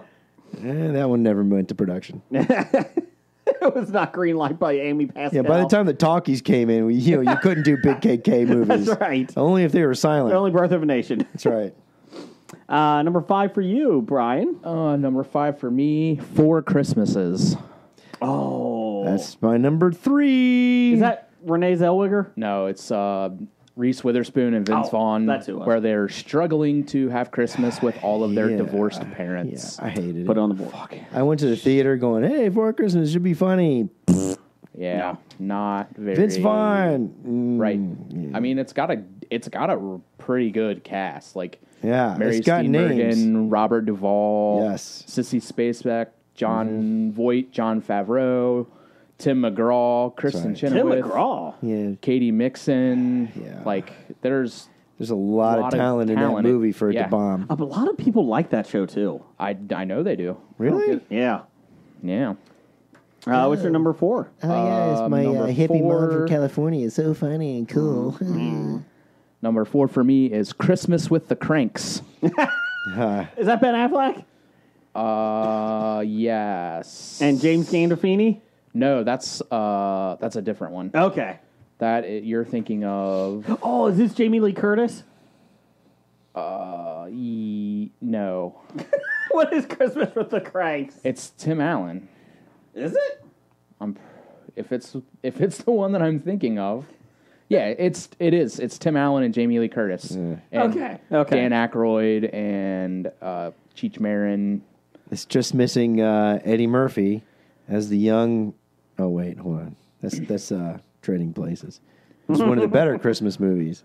Yeah, it's so like the the daughter I think is like out of the country, so they're gonna skip Christmas altogether. I think because she's not there, so they they just don't want to worry about it. And then like at the very like Christmas Eve, she just kind of shows up and like it's hijinks ensue. Oh, this is the one that Jamie Lee Curtis slaps her face with. Yeah. Oh. Hilarity and follows. Yeah. Uh, it has a 5% rating on Rotten Tomatoes. Wow. Ooh. Uh, yeah. Uh, my number four, let me get back to this. Wait a minute. Yeah. Did you give her number four? That was it. That That was my number four. That was number four. Oh, okay. Sorry. Number four for me, another old time one. It's actually my oldest son's favorite film. Uh, it's a Wonderful Life. It's, it's, it's a wonderful life, Jason. He's giving me the nasty look from the green room. It's a wonderful life. Uh, it's a horrible film. He hates it too. Uh, it's horrible. I'm sorry. it goes on. It goes on forever. I Yes. agree, but I like it. It's still No. okay. No. you're still stupid, but then again, that's the old way the banks used to run. Oh, look, everything's still worked make out. A, make a run of that. I'll, I'll pay for it. I'll pay you right now. You are out of my own pocket. You're like, what are you doing? Every time a bell rings, an angel gets his wings. Screw you, Clarence. My dog blue. Uh, go ahead. Uh, that's you, Blake. What's your number four? My number four was Serendipity. It's Oh. shocking that I would have a John Cusack Mm-hmm. movie on a worst of list, being the fact that I am a fan of John Cusack. You are. Okay. And that's a Darren Aronofsky movie, by the way. Eh, he has a lot more misses than hits, though. I think. He's got some good stuff out there. he I like. Mother. That's why I watched it again. Did you ever watch The Fountain? I have seen it, but I can't remember it. Don't. Don't. Okay, I'll skip it. Don't. Uh, what else you got? Oh, I'm back to me Yeah, number three. for number three. That was for four Christmases. Oh, okay. You yeah, you you took it. Okay. No, No, Brian took did. it. Brian took it. Sorry. Yeah, that was your five. Sorry. Uh, my number three was Home Sweet Home Alone. That piece Yes. of garbage. Uh, number three for you, Brian. Uh, number three for me, uh, what you were just talking about, Uh-oh. uh, surviving Christmas. okay. That was That's Ben the Affleck. Ben Affleck, James Gandolfini. oh. Um, who's the girl? It's uh, Christina Applegate. Oh, jeez. Uh, it's the millionaire that pays a family to spend Christmas with him. Jeez, oh, Pete. Gandolfini, the millionaire. Uh, I think it's Ben Affleck. Oh, okay. That sounds horrible. Great. Yeah. I just remember the trailer and it looked bad. uh, and you know, yeah, Catherine O'Hara's in it. It's got a. It's another one of those like massively talented casts where the movie is just terrible. I feel like there's a lot more bad Christmas films than good Yeah, because it's tough to make it. Like it's tough to make a Christmas film that's good. yeah. I mean, it's it's not easy. That's for sure. Uh, what's your number two? Uh, my number two would be the uh, god awful Saving Christmas with Kirk Cameron. Oh, that's an honorable mention for me. Let's spend 80 minutes in a fucking car talking about Christmas and the meaning of it because Kurt Cameron knows what Sorry, Christmas I, is. I misspoke on the title. The title of the film is Kurt Cameron's Saving Christmas. Oh, okay. if you've never seen this He film, doesn't want to mistake. He Let me doesn't- just read anybody the- the mistaken plot. for him may have made that. That's Saving right. Christmas. The plot his annual Christmas party faltering thanks to his cynical brother in law. Mm-hmm. Christian. Kirk Cameron attempts to save the day by showing him that Jesus Christ remains a crucial component of the over commercialized holiday. They have his real life sister in it. I've seen this film because I've seen it twice because I can't get over watching it. It is so bad Yes. and so misplaced. Like I understand he had there's it has a an audience, but this is even bad for that. Yes. And like it is horrible. Hey, you know that Christmas tree? There's a reason why we have a Christmas tree. No, Kurt, let's not go into this. Here we go. Here we go. Uh, yeah, it literally is 40 minutes of him. I think the one review I saw was, "Wow, Kirk Cameron gives a PowerPoint presentation on surviving Chris on Christmas," and that's basically what it is. Oh, uh, let's see here. Uh, my number two. Oh, these are tough ones. This is close. How the Grinch Stole Christmas, the Jim Carrey 2000 oh film. man, I like that one. I don't think I've actually watched that all the way through. My kids last year watched it a couple times, Yeah. and I've seen it. Uh, oh, it is so bad. Jim Carrey annoying. Yeah, and it's freaky and creepy. I think it was Ron Howard directed it. Yeah. Pretty sure he did. Um, and thank God Cat in the Hat came out after that because then the Seuss uh, uh, uh, estate said no more live action. you can do animated. We're done. Yeah. And uh, it was it was horrible. Uh, what's your number two? I'll b- b- b- believe it. Tyler Perry's a Madea Christmas. hey, I understand he kept making those movies because he was employing people and he's what he wanted to do. God bless him for that, but not for his Madea Christmas. He just left the OWN network, Oprah's network, and went to Amazon. Four picture deal. Oh my! How does he get deals? Isn't wasn't he part of the Amazon's like the Alex Cross stuff, didn't they? Aren't they doing like a series on that? I don't think he's on because he He's was not- Alex. he was- yeah, he did the was Alex movie. Ross, but I don't think they were they're moving. not doing that. I hope not. I hope not. I for some reason I feel like I read a story that like they're they're doing like a kind of like the terminal list and Yeah. Jack Ryan. They're doing like an Alex Cross thing. It, it makes sense. Like I used to like them until he p- put them out every two months, and then it came to realize that he never wrote half of them. He Yeah. just he basically gave them a synopsis and said, "Go write it," which is fine. You know, when you're that rich, who cares? But Yeah. uh, what's your number one? Number one, man, I'll tell you what. I tried finding the title, but I think it's one of those Hallmark movies, and probably Brian oh, knows which one I'm talking about. The reason this is the worst is because my car was taking so long to get serviced at the dealership. I got to watch this entire movie Was it on your phone or on the TV there? on the TV there. oh, you know, sitting in the little kid chair section because everybody else was sitting in adult chairs. And I had to watch this movie it was where they all got snowed in somewhere in New England.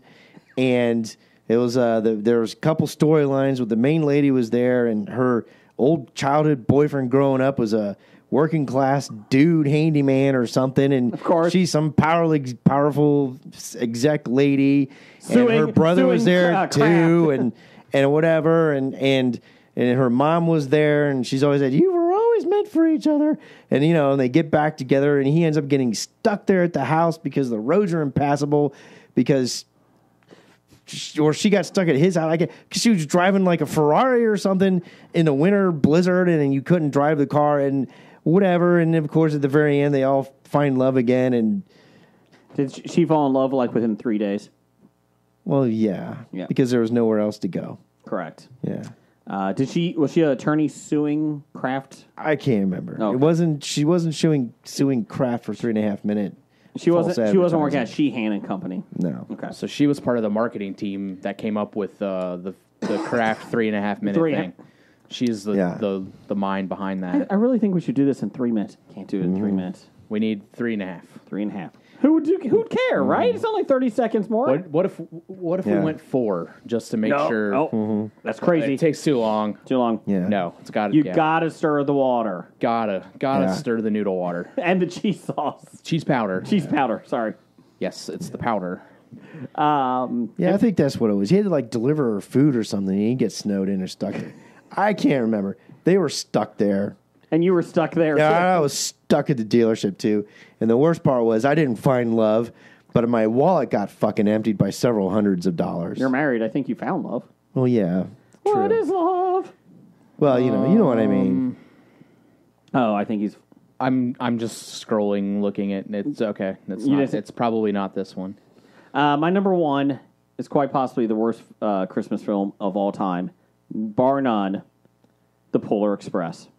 Hey, it's a thirty Freaky animation. You're right. freaky animation. Tom Hanks is playing a homeless guy at one point, and it's freaky looking. He's on top of a train. Yeah. They're singing about hot chocolate, and at one point, uh, Steven Tyler is an elf in it.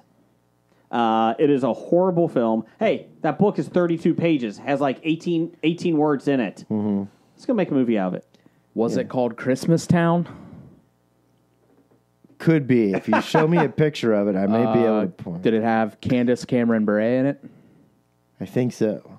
They all do. What's the story? What's the story? Read it to read it On to her me. way to a new job, Lauren stops in Grandin Falls where she meets and befriends a single handyman named Travis. Yes. His, his foster kid and many other locals in the weeks leading up to Christmas. Yeah, she's a snobby city type, and she ends up yeah, in the country. Yeah, it's coming back to me better She, now. uh, Lauren leaves everything behind in Boston to embark on a new chapter in her life and career. But Yes. an unforeseen detour to the charming town of Grandin Falls has her discover unexpected new chapters of heart and of family, helping her to embrace once again the magic of Christmas. Yes, that is right.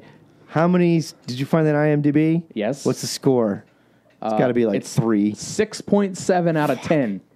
How It's, the hell? hi- is- it's higher than the oh Cranks my movie. god, it's higher than Mother. Mother. What The fuck? Just killed a plane. Yeah, Uh, Bryan, what's your number one? That was it. That was the story. Yeah. Christmas Town. Christmas Town. That's cute. Um, my number one would have to be Christmas Story 2. Oh. Um, I haven't seen it yet. Don't give me any spoilers. No, that's not that one. That's Oh. a different one. The Oh, one that just came out is a Christmas story. with Ralph. Christmas. Yeah. yeah. So this the one that come that is coming out on HBO. It's actually out now. It's called A Christmas Story Christmas. And so I watched the trailer, like a little behind the Mm-hmm. scenes on this, and it's I didn't realize it. All of the children from the original are back In this new one? for the new one. Like Okay. uh, Scut Farkus, like all of those that that group of Oh, kids wow. are as adults now are back in this That's movie. funny. Um, and I thought that was really Yeah. cool. Like, I'm actually kind of excited to watch that. That's a this year. deep dive to go get those people. Yeah, right. Yeah. Uh, yeah, Christmas Story two. Um, Is it's it a sequel to Ralphie? so it's uh, the thing is like fi- the taglines. Five years later, Ralphie has his eyes fixed on a car, but oh, trou- wait a minute. but I've trouble is seen sure to this. follow. It's a sequel, Yeah, but, not the one that's coming out. It's the prior No. sequel, and it didn't have the original mom and dad characters no, in it. Daniel right? Stern was Yeah. what? Daniel Stern plays the dad. Actually, I could Um, see that though. And then like some kid, Could see it. Braden Lemasters plays Ralphie. I'm not saying it's going to Yeah, be good. I'm I've, just- I've, um, I remember watching it and having to turn it off because I was so Yeah, disturbed, it was very upset by it. infuriating. did he shoot anybody his eye out? No, but the that's the bad thing is that it's like they're just like rehashing all of the the jokes from, From the the, original? original. and like it's so. It, And then at it- that point, you're like, why don't I just watch the I, original? I would much rather watch Yeah. the original. Like I didn't, I wasn't watching it because like I knew it wasn't like a sequel, but like I wanted because as much as I do love the first one or the original, like Uh-huh. I thought, okay, maybe, yeah. but God, the worst. Um, we did have some listener feedbacks on these. Mm-hmm. Uh, Bryan, ow. Ow. Eliminating Hallmark from the list. White Christmas. Stole everything from Holiday Inn. Batman Returns. Please stop eating penguins, Oswald Cobblepot. Christmas Vacation. Hey, these are the relatives I try to avoid. Gremlins. Pets are a commitment, not a gift. and a Christmas story. Should have gotten a better lamp. Wow. Ooh, those are fighting words there. Wow. I had that lamp full size, by the way, Do you? and my wife did not permit me to put it in the front window What? Because when we were they were out for a soccer tournament, I put that in the front window as a joke, and she came home and she was very upset with me. so I took it into work, Then put it on your desk. and everybody loved it. See? Uh, Nisi, Indiana's favorite nurse, she had Ernest Saves Christmas. Uh, I like that film. Jack Frost, Jingle All the Way 2. Oh, God. A Christmas Story 2. And Krampus. Don't mix my horror and Christmas, please. Uh, Stork. Uh, Pittsburgh they're coming out with a Grinch horror movie, by the way. Yes. you see that? I, I pr- put that trailer up. Yeah. It's going to be awesome. Oh, must probably saw it. Uh, Brad and I, Brad from Cinema Guys and I, are doing a review this week on our YouTube channels, and uh, it's the Killing Tree about the tree that com- Christmas tree that comes to life and kills you. It was an hour and ten minutes. The film It eats Film. ornaments and cats. uh, kills people. Oh, It's a serial killer that gets his soul sucked into a Christmas tree. It's amazing. ookie. My w- at one point, my wife's like, "What the hell are you watching? Why are you still watching this?" Sounds great. Uh, let's see here. Stork. I bet it still scores higher than uh, Christmas Town. I, I don't know, six point seven out of ten on That IMDb is pretty good. I, don't, solid. I don't understand how it could get rated that high. Uh, Stork, Pittsburgh's sexiest podcaster, has Batman Returns, Lethal Weapon, Gremlins, Die Hard 2, and Die Hard. Mostly because they're not Christmas movies. Steve had everything I learned from movies.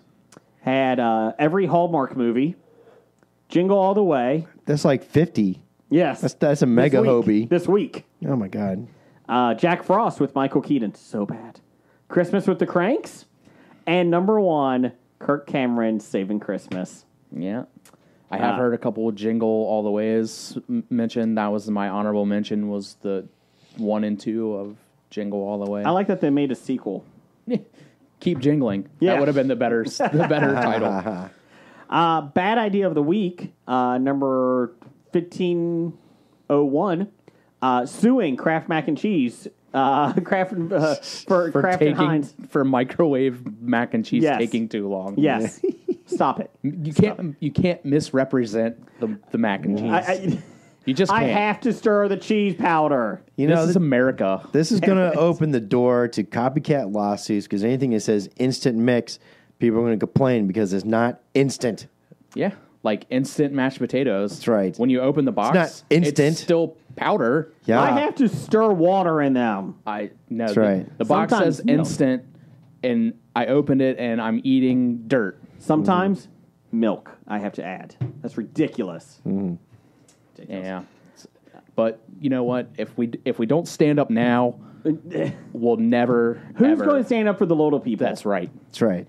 Yes, we're we're just going to continuously be run over by these gigantic corporations if we don't stand up now. It is. I have nothing.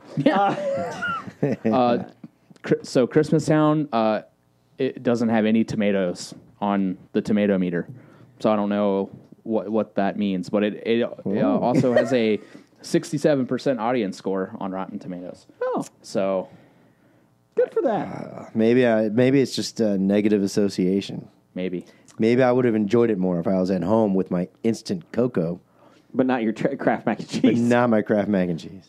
Uh, titles for the show: I had Beach Blanket Batman. yep Uh, not curing. I'm not curing cancer. yep. Um, finding love at a dealership, and my dog Blue. Just because I like Blake's impression of that.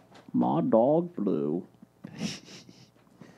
Uh, I also had Beach Blanket Batman and uh, Blame It on the Ink. Oh. Blame it on the ink. Yes. Anything else? No, those are the only two that I that I wrote down. Wow. Um, I guess beach blanket Batman. Batman. Let's do it. um, is probably gonna win. yeah, I mean, I feel bad blaming your speech impediment on printer ink. So You like the ink. it is. Look. Look. See? Look at the story. I couldn't read because of that. Or, just, or just let's just title it Charles de Gaulle Airport sucks. it's the silent killer. Is this fine? Silent killer. It is. Charles de Gaulle Airport is the silent killer. It's a little wordy, but it's still pretty good. yeah, we'll get Charles sued, de Gaulle, the silent killer. we'll get sued by the French Yeah, let's not do that. Let's just do the silent killer. ministry. I'm just doing the sign because what thinks who thinks of Christmas and thinks doesn't think silent killer. Let's do it. Uh, I, Gassy episode. Ah. Roger says goodbye. goodbye. From Walking Dead to Talking Heads, from comic books to TV sets, there's a history. Not so bad, there's the history. It's the history of bad, so bad. The history of bad, it's bad.